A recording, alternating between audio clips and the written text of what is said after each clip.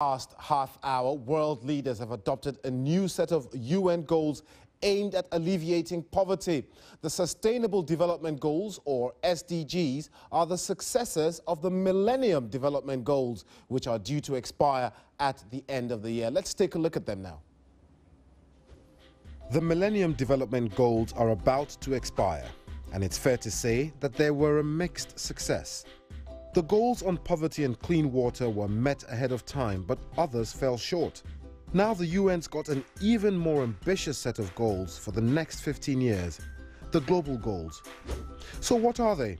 Well, there's 17 of them in total, but in short, they're all about peace, planet and prosperity. They don't just cover poverty and health either. There's now a bigger focus on things like justice and jobs. And this time around, they're aimed at all countries, not just the poorest ones. Critics say there are simply too many targets and that some of them can't be measured. For example, the goal to end discrimination in all its forms against women. There's also the danger that countries will pick and choose which goals they want to meet. But supporters say the ambitious goals are still worth working towards, even if not all of them are met.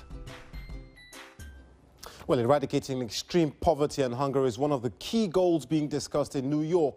But is there anything that those affected can do to help themselves out of the situation? BBC Africa's Anne Soy has been to northern Kenya to see how a community that had been relying on food relief has now taken control of their land and turned their livelihoods around.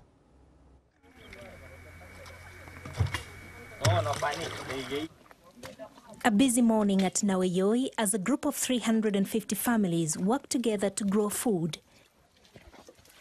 They've been doing this for two years now, and they have created an oasis of greenery in a vast arid part of the country where people have always been at the mercy of extreme weather conditions.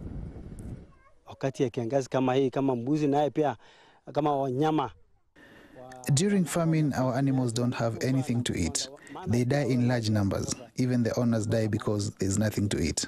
Sasa hata wewe unafariki pamoja na mafugo yako.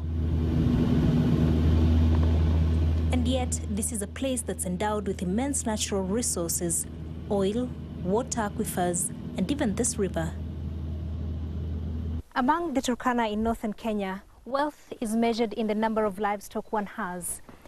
The more you have, the wealthier you are, they're traditionally pastoralists. That means they travel long distances to look for pasture for their treasured animals.